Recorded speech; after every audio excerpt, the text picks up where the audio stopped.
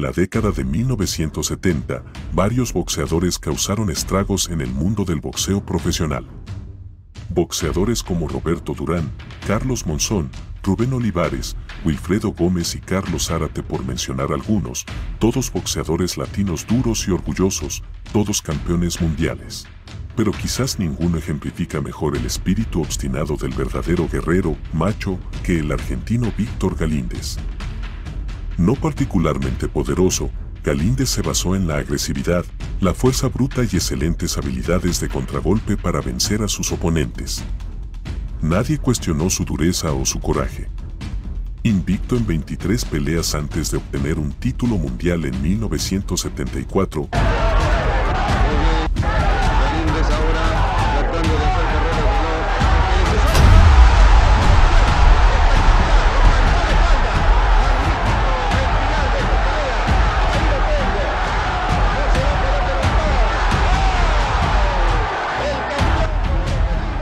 Luego ganó otras 19 peleas seguidas.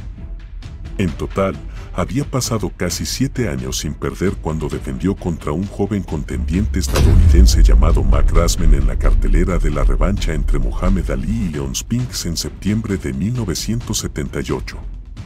Pocos le dieron a Rasman la oportunidad de destronar al campeón, y la mayoría de los expertos solo especulaban cuánto tiempo podría durar la pelea antes de que Galíndez lograra otra victoria pero para sorpresa de todos, Rasman derrotó contundentemente al campeón. Sin mostrar miedo al ahora legendario veterano, el retador eligió pelear cara a cara, sus golpes más rectos y afilados abrieron cortes profundos sobre los ojos del campeón. La confianza de Rasman solo creció y en las últimas rondas estaba dominando a toda velocidad a su oponente ensangrentado y maltratado. En la ronda 13, un Galíndez exhausto estaba siendo golpeado contra las cuerdas cuando el árbitro detuvo la paliza unilateral.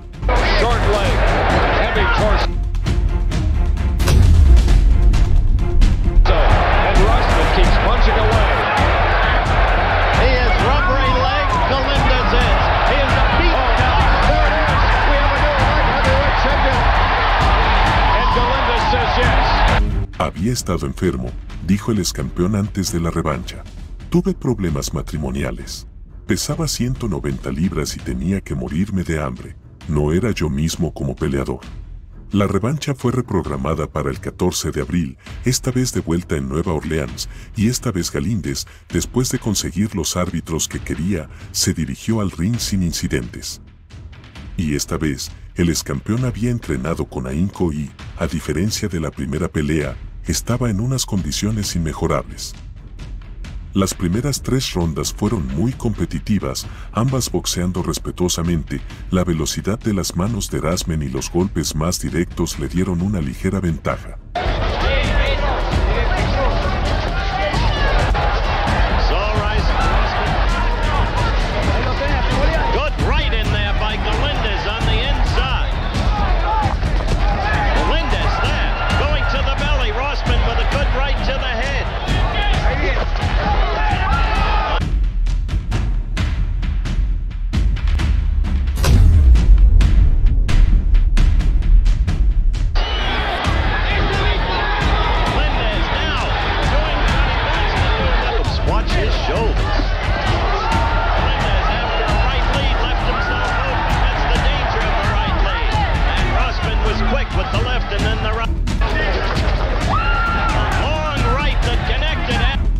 El punto de inflexión llegó en el cuarto. Brasman conectó con excelentes derechazos y parecía estar ganando el control, pero su afán por intercambiar lo puso en el campo de tiro del argentino. Al final de la ronda, Galíndez conectó con una estruendosa combinación de gancho de izquierda y uppercut que lastimó gravemente al campeón defensor. was not staggered by a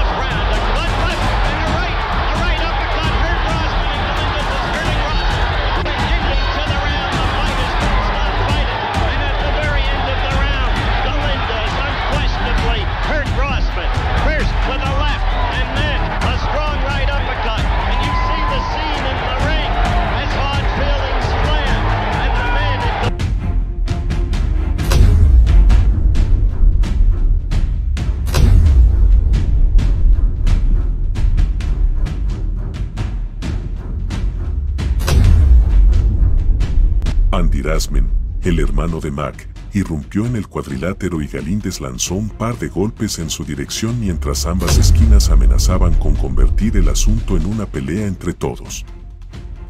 Eso no ayudó en nada a Mac, y las cosas pronto fueron de mal en peor para Rasman.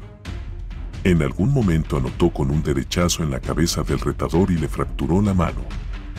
Galíndez, atacando con más furia y efectividad de la que jamás mostró en septiembre, ahora tomó el control, golpeando a Rasman contra las cuerdas y golpeándolo con ambos puños.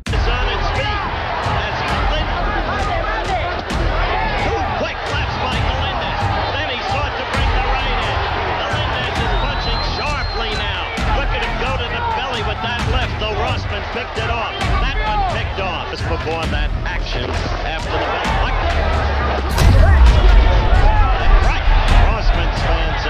by two quick blitz.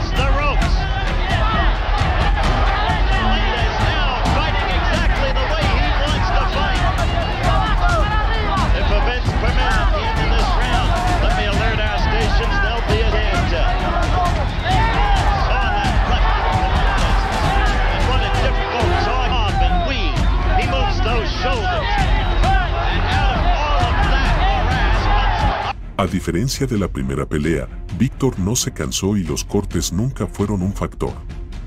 Desesperado, al final de la novena ronda, Rasman golpeó descaradamente a Galíndez.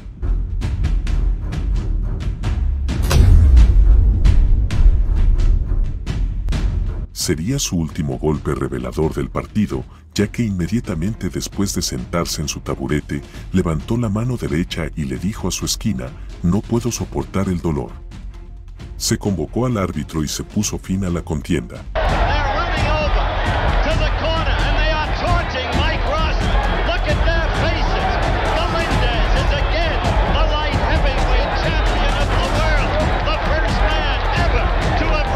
Siempre el hombre macho, el campeón no concedió ningún respeto o estima por su antiguo conquistador, todo lo contrario.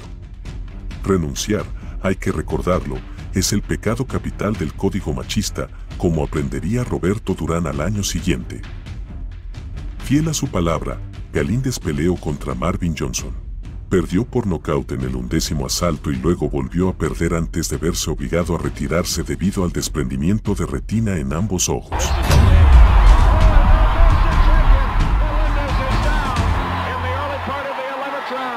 El leopardo de Moron, como lo apodaban, decidió convertirse en piloto de carreras. En octubre de 1980 y en su primera carrera, el famoso turismo carretera de Argentina, Galíndez y su compañero de conducción sufrieron una avería y se detuvieron.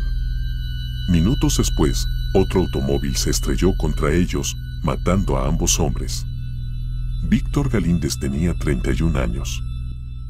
Si el video fue de su agrado y desea apoyar el canal, dale like y suelte un comentario en la parte de abajo. Si este es el tipo de contenido que disfrutas, espero que consideres suscribirte al canal para que no te pierdas ninguna de mis subidas. Muchas gracias por vernos y espero verte en la próxima.